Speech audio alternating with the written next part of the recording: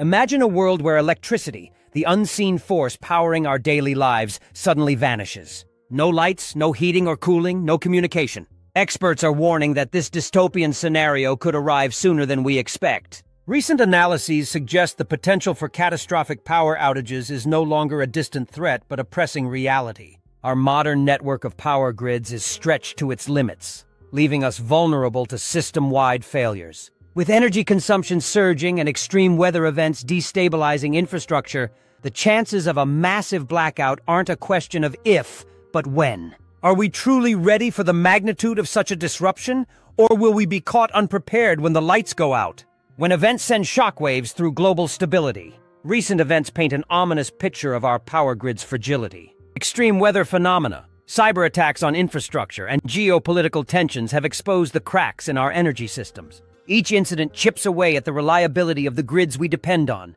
underscoring the urgency for proactive measures. Modern economies rely on seamless energy supply, but how resilient is the system when stress tested by such unpredictable factors? The implications are far reaching, hinting at the potential unraveling of essential services if we don't act promptly to bolster our energy infrastructure. Preparedness is no longer optional. For those in the prepping community, the warning signs have been clear for years. But as the risk grows more apparent, the need for widespread awareness and planning becomes undeniable. Preparedness is not just about storing food and water. It's about anticipating the ripple effects of a long-term power outage and building sustainable solutions. Learning survival skills, securing alternative power sources, and fostering community resilience are key steps. The question isn't if we should prepare, but how much time we have left to do so. The clock is ticking, and greediness could be the difference between navigating a crisis or enduring chaos. A wake-up call from Europe. If you think the power grids in developed countries are safe, think again. This year, Europe was hit with a staggering blackout that didn't just inconvenience a few neighborhoods. Spain, Portugal, and parts of France were plunged into sudden darkness, affecting tens of millions of people. Businesses shuttered without warning, hospitals scrambled to function, public transit froze, and critical infrastructure came grinding to a halt. Even cellular networks, the very backbone of modern communication, couldn't withstand the chaos. For those caught in the middle of the mess, it didn't just feel like an outage, it felt like the world was coming to a stop.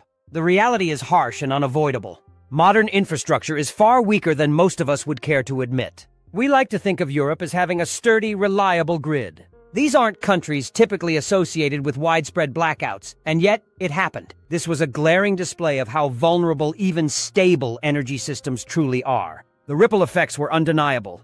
Businesses lost millions in revenue. Ordinary people couldn't access bank accounts or make electronic payments. Simple tasks like buying groceries or staying connected with loved ones became Herculean challenges. And this wasn't some apocalyptic war zone. This was metropolitan Europe. What's even scarier is that this isn't a freak accident, but a sign of things to come. Power grids across the globe are under unprecedented strain. Aging infrastructure, skyrocketing electricity demand, and climate-induced pressures create a perfect storm for frequent, large-scale power failures. The blackout in Europe is a harbinger of a pattern we're going to see repeatedly. The takeaway? You can't count on the system to work when it matters most. Modern society glorifies convenience, but fails to address the frailty of the systems it relies on. If a power failure of this magnitude can hit parts of Europe, what's stopping it from happening where you live? The answer is nothing, and the sooner we reckon with that, the better prepared we'll be for the increasingly unstable future. The fragile balance of power. The blackout in Europe wasn't caused by some raging storm tearing through the continent. It wasn't even the result of a foreign cyber attack. It happened because of something much simpler and far more terrifying a massive power imbalance on the grid. This imbalance triggered safety mechanisms designed to protect the grid from total destruction. While officials patted themselves on the back for the system working as intended, they completely sidestepped the bigger issue. The root cause of this imbalance remains a mystery, and that's not okay. Here's the hard truth. We're navigating a crumbling network of wires and switches that only barely manage to keep the lights on. Everything about the modern power grid is precariously balanced. A sudden disruption in supply and demand can send the whole system spiraling into chaos. That's what happened in Europe. The safety protocols designed to save the grid from catastrophic damage kicked in, but at what cost? People were left powerless, literally and figuratively, while officials shrugged their shoulders and offered zero concrete answers for why it happened in the first place. This isn't just a European problem. Electricity grids worldwide share this tenuous fragility. Their dependence on just-in-time power generation means there's little room for error. Add renewable energy sources like solar and wind, which are variable by nature, and you've got a recipe for disruption. Combine all this with aging infrastructure, and you quickly realize how close we are to complete and utter failure. The most infuriating part? The lack of accountability. Public officials and energy providers offer vague reassurances instead of real solutions. The systems worked as they were supposed to, they say, ignoring the fact that millions of people's lives were thrown into turmoil. Without clarity on what caused this power imbalance, there's no way to prevent it from happening again. It's not a question of if, but rather when. You may think these events are technical concerns reserved for engineers and policymakers, but they're not. They directly impact every single person who relies on electricity, which, in today's world, is everyone. Food supply chains, healthcare infrastructure, and basic communication all depend on a functioning grid. And yet we continue gambling with the fragile balance of power, the solar threat we can't ignore. If you think a power imbalance is scary, wait until you hear what's brewing in the heavens. Solar flares and coronal mass ejections, CMEs, are the ultimate wildcards. And the scary part is, they're not theoretical. They're real, and they've been happening for as long as the sun has existed. Here's why you should be concerned. CMEs are massive bursts of solar energy riddled with magnetic fields. When these particles reach Earth, they can wreak havoc on our technology. Satellites can fail, GPS systems can go haywire, and most frighteningly, power grids could collapse. Unlike the blackout in Europe, which lasted hours or days, the damage from a CME could cripple electrical infrastructure for weeks, months, or even years. Experts believe the probability of a catastrophic CME event increases during a solar maximum. Guess what? That's exactly where we are now. We're in the peak of the sun's 11-year cycle of activity. And that means the chance of a grid-melting CME is higher than it's been in nearly a decade. The problem isn't just the potential for immediate power loss. It's the long-lasting implications. Modern grids aren't designed to withstand the impact of a geomagnetic storm of this magnitude. Transformers could blow out, and repairing or replacing them would take months, if not years. The ripple effect would leave entire regions uninhabitable. No heat, no refrigeration, no water treatment. It's hard to overstate how catastrophic this scenario would be. You can't ignore the warning signs. The disaster isn't just a possibility, it's an eventuality. CMEs have hit Earth before, but the last time we saw one capable of global havoc was in 1859 during the Carrington event. Back then, we didn't have a tech reliant civilization, so the damage was negligible. Today, the consequences would be catastrophic. What's clear is that the systems we rely on are woefully unprepared for the solar challenges of tomorrow. Governments and power companies downplay the risks instead of investing in resilience. Meanwhile, CMEs are out there silently moving toward the next inevitable planetary encounter. Wake up! The Earth's grid isn't ready, and neither are you. America's crumbling power grid. The U.S. power grid is a ticking time bomb, and every summer brings us dangerously close to catastrophe. Think about this. The grid wasn't designed to handle the current levels of strain put on it by modern energy consumption. Air conditioning, an absolute necessity during the brutal summer months, drives energy use through the roof. With demand consistently outpacing supply, the system teeters on the edge of collapse. And here's the kicker.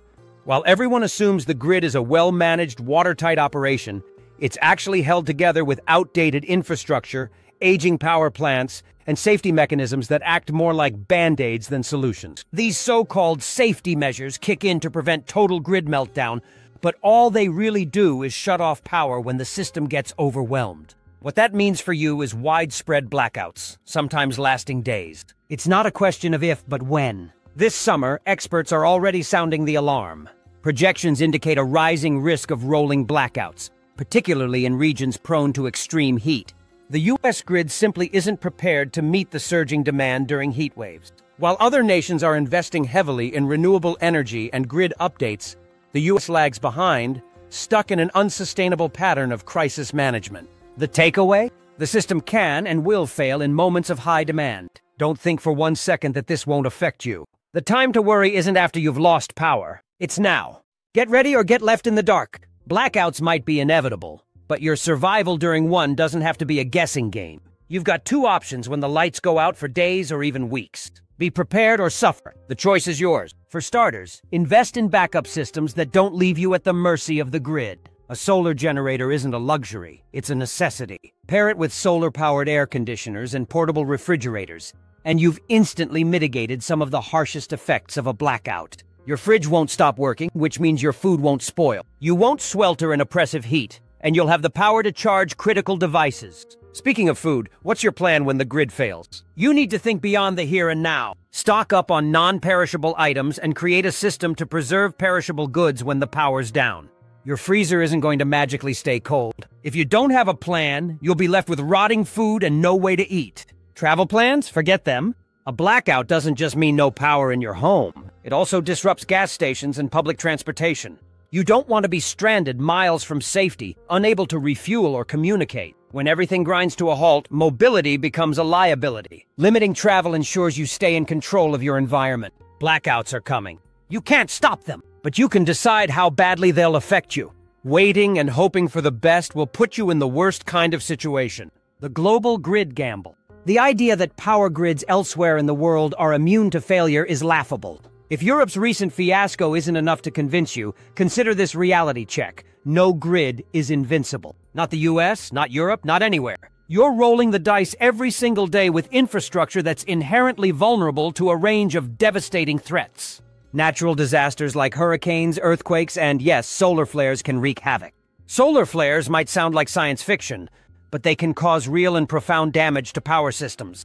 Coronal mass ejections, CMEs, release massive amounts of energy that can fry critical infrastructure in seconds. Under the wrong conditions, a single CME could wipe out the power grid for months or even years. And don't forget, we're in the middle of a solar maximum right now. The risks are higher than they've been in over a decade. Then there's the human factor. Cyber attacks targeting power systems aren't just theoretical, they've already happened. Hackers see the grid as a goldmine for disruption, and it doesn't take much to shut things down. Whether it's through ransomware or sabotage, the grid is a glaring weak spot. Finally, we have Black Swan events. These are the true wildcards. By definition, they're unexpected and hard to predict, but their impact is catastrophic. They could stem from a combination of natural and human made factors. But one thing is clear when these events occur, power systems buckle under the pressure.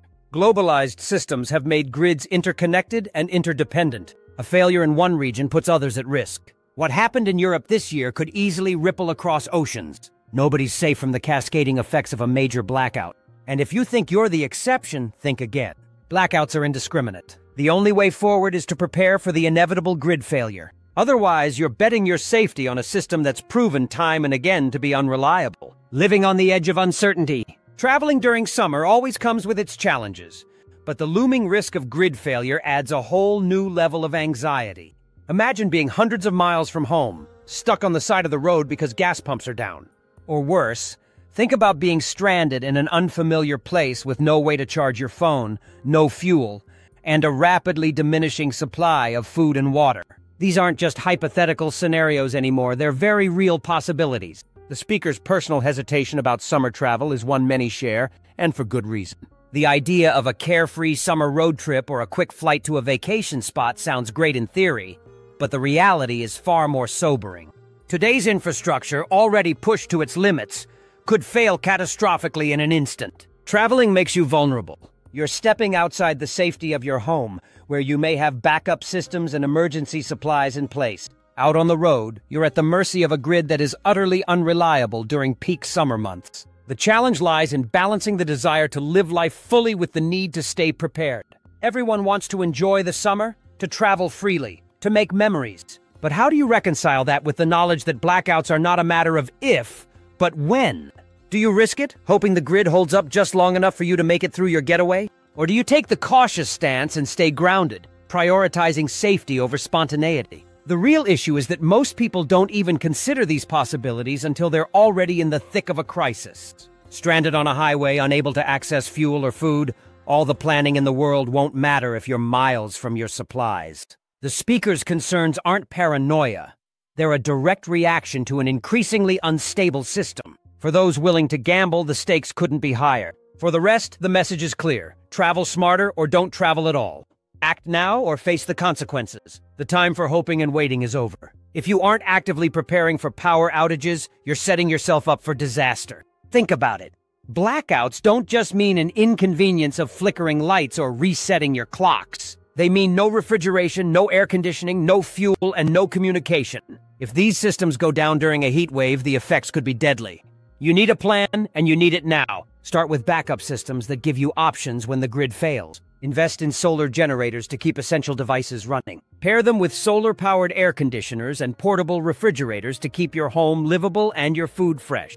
This isn't about luxury, it's about survival. When the grid is down for days or weeks, you'll thank yourself for having the foresight to prepare. Planning doesn't end with equipment. Your lifestyle and choices need to align with the reality of the risks. This summer, reconsider non essential travel. Taking a vacation might sound appealing, but if the power goes out while you're away, you might find gas stations closed and roads gridlocked, leaving you stranded. Staying closer to home where you have access to your supplies is the safer bet. If you do plan to travel, make sure you have everything you might need if things go south. Being proactive is the difference between navigating blackouts with relative ease and being thrown into chaos. Stock up on non perishable food, store water, and create an emergency supply kit that includes everything from first aid to battery powered lighting. Talk to your family about what to do if the power goes out and you're separated. Preparation doesn't stop at buying gadgets, it's a mindset. And here's the truth most won't say outright the risks aren't going away. Blackouts aren't flukes, they're a symptom of a deeper problem. The system is broken. It's not something politicians or utility companies are going to fix before the next crisis hits. That leaves you with one choice to prepare or to suffer.